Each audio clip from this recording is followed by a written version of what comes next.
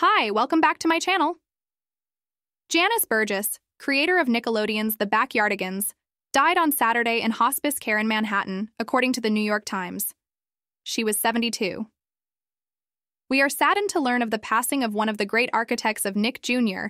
and creator of the globally beloved series, The Backyardigans, Nickelodeon said in a statement.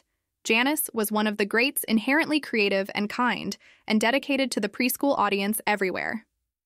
Animation writer Fracaswell Hyman, who met Burgess while both were working on Gullah Gullah Island, wrote on Instagram Janice swept in with her acid tongued wit, flowing Hermes scarves and omnipresent cigarettes.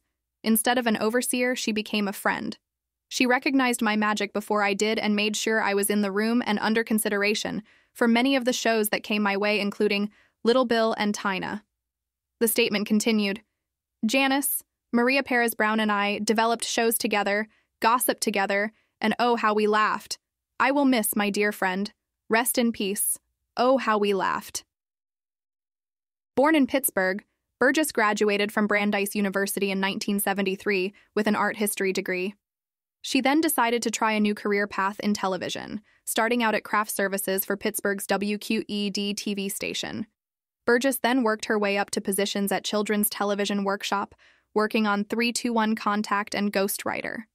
Joining Nickelodeon as an executive in charge of production for Nickelodeon's Nick Jr. channel, she oversaw shows such as Blue's Clues, Allegra's Window, and Gullah Gullah Island. She then turned to the creative side of the business, creating a pilot for a live action, full body puppet show called Me and My Friends in 1998. Though the series did not move forward, she was encouraged to retool the concept for animation and eventually created The Backyardigans.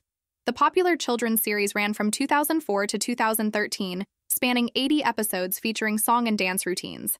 It followed five animal best friends Uniqua, Tyrone, Austin, Pablo, and Tasha, who had adventures in their backyard. Burgess's other notable credits include her work as a story editor on Winx Club and co developing Bubble Guppies,